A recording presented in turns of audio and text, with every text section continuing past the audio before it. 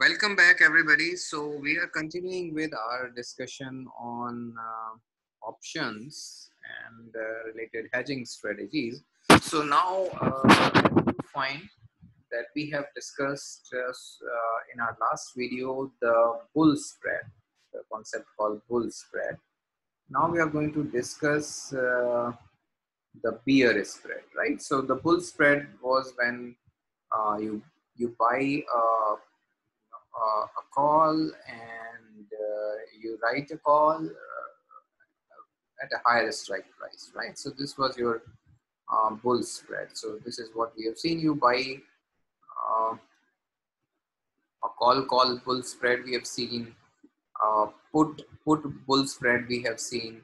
Now we are going to see the bear spread. So what happens in a bear spread? So bear spread is uh, bear spread is a call calls or a put put strategy like earlier. But earlier what we were doing uh, we were uh, you know buying a call at a lower strike price and writing a call at a higher strike price. We could do reverse also. So we are buying at a, call at a higher strike price of 140 writing a call at a lower strike price of 135 and that also uh, uh, gives us kind of a protection right so uh, what we do here, uh, we see that the premium is 1.8 and 3.1 and uh, you receive 3.1 which is more than 1.8 so net premium is positive which is 1.3 at a, a, market price of 120 the long call option is not exercised the short call option is also not exercised and what whatever you gain is just a premium same is true for 125. Same is true for 130. But at 140, the scene changes uh, because the short call uh, that you have written gets exercised and you have to shell out 5 rupees for that. And as a result, what you get is uh, uh a negative return of uh, 3.7. Negative return of 3.7, right? So when you see the payoff graph of this particular bear spread, it uh, it it kind of looks like this right? It kinds of look it looks like this okay?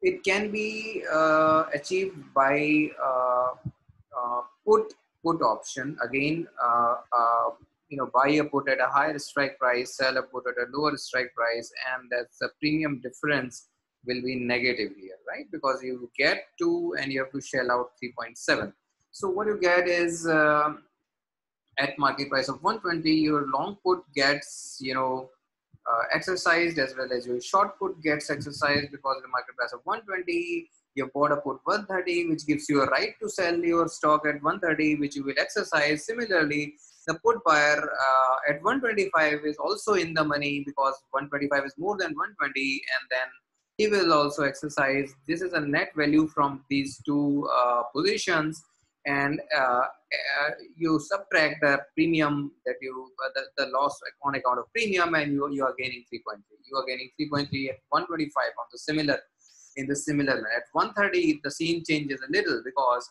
you are at the money you are not going to exercise your long put option. You are out of the money and you are not going to exercise your short put option. So only thing that remains is the net premium which is negative and which remains same for any uh, you know uh, stock price above it. So what you find again is the same thing right?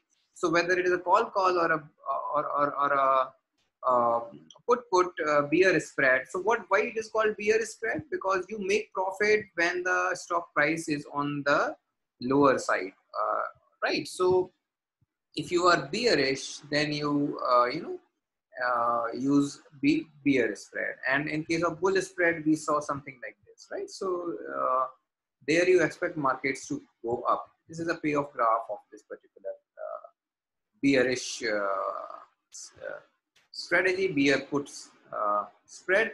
Now, um,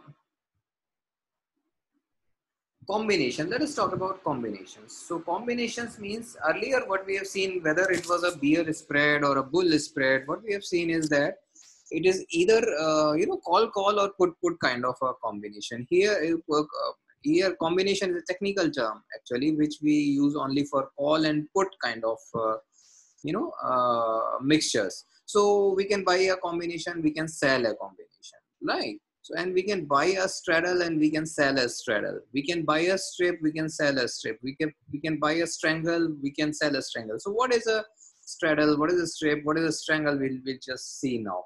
So coming to the long straddle, long straddle uh, means your strike price of both your call and put options is same, expiry date is also same, and you get a, a payoff uh, like uh, the one that we see here, that we see here, right? Okay, a V-shaped one. So this is for Coal India stock, right? And uh, let me see if we have the uh, okay, the table is missing here. We'll, we'll put it later, okay?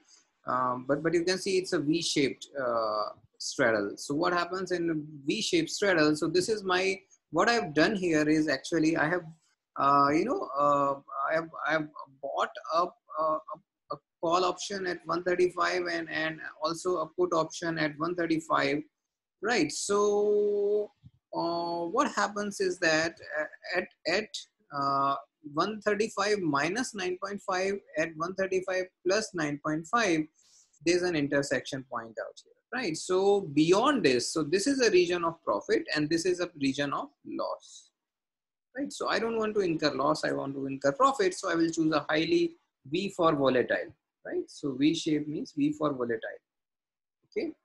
And the long straddle, as you can see out here, so uh, both a call and put option with the same strike price. So we have we we bought uh, a long a long call and we bought a long put in in, in case of a long straddle.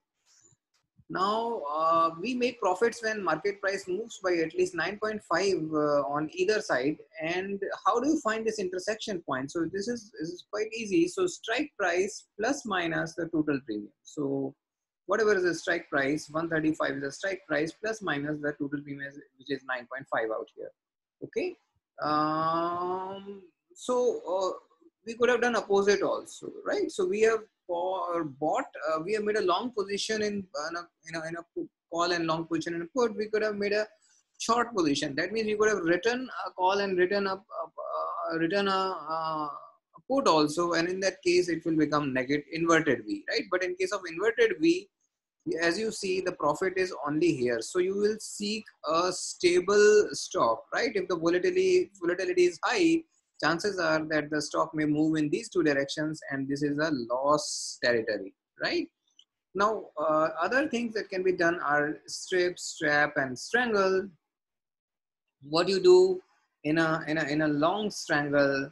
You do an out of the money uh, call and you buy an out of the money put. And it, it kind of becomes a, a, a bathtub shaped uh, a u-shaped you know a payoff graph. Again good for high volatile uh, stocks high volatile stocks right? Okay.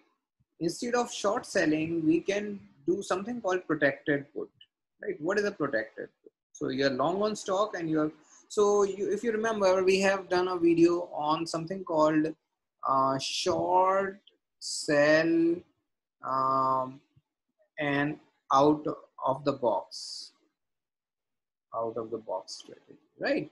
So there we do long on stock and uh, and that's how we protect ourselves. But here, what we are doing, we are uh, buying a, a, a, a we, we are buying a put option out here, right? So what happens in this is something like this.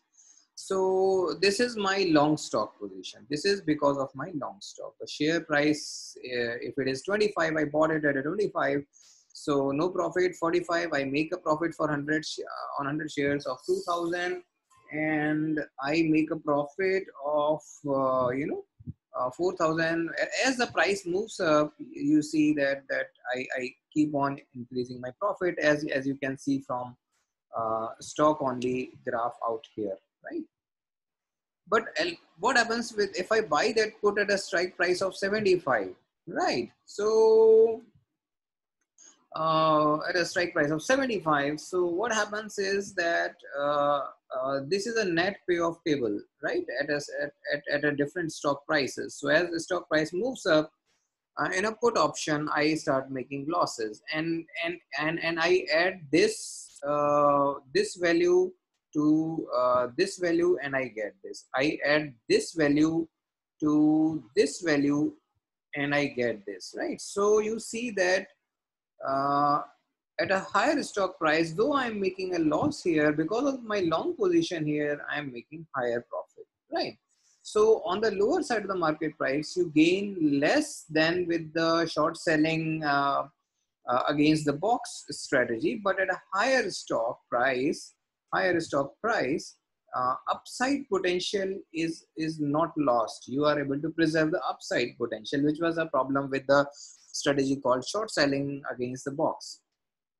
Okay, now you assume that the market price is 75 and we expect that this price uh, today which is say 75 which is 75 may come down right? And if only 5% of the decline is expected so that means 3.75 is a decline expected will we be buying the protective put? No.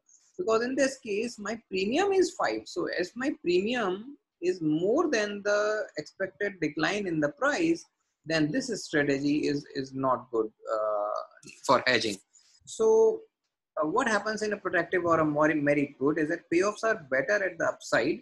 And if you spend money, you can get something better or more payoffs, right? So if you are willing to spend money on premium, if you are willing to pay more premium, then upside potential is maintained, right?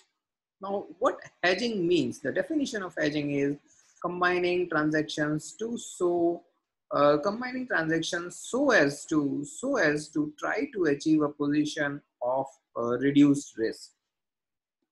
If you want protection but you don't want to spend on protective put also then you can go for equity collar. What do you do? You buy some options sell some options right? So you write otm put you write otm call and your payoff uh, is something like this. So uh, but but then these payoffs are inferior to what you what you will get on a put uh, protective put option right? So but you do not have to spend as much also. You do not have to spend uh, you know uh, on that protective put. So the premiums adjust against each other and you are still able to you know uh, kind of uh, you know protect uh, limit your losses right? Okay if you want protection if you want protection but you don't want to spend at all zero money you do not want to do anything and then in that case you go on a you don't want to spend on premium at all right? So you go long on stock and write one call. So you will get some premium instead. You you earn instead of paying to protect yourself you earn here. You get some premium so you go long on stock and then write a call it is called covered call uh, option strategy. So what happens in case of a covered call strategy? Uh, you know, uh, this is your strike price. So your upside potential gets limited. Upside potential gets limited. Okay, but then uh, your um, maximum, uh, you know, loss is also limited because this is the way uh, the stock price can go zero at the most and then this is how the maximum loss can be. Okay?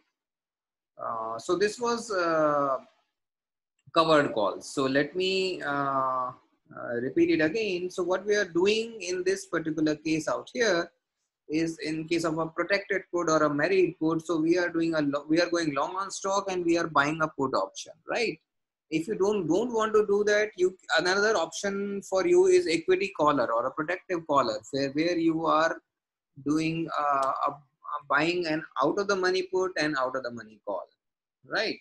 If you instead want nothing but your payoffs become inferior in this case your upside potentials get limited. It, it's a strategy called cover call Okay, so uh, we have seen bull spread, bear spread, uh, strangle the long, strangle the V-shaped position also.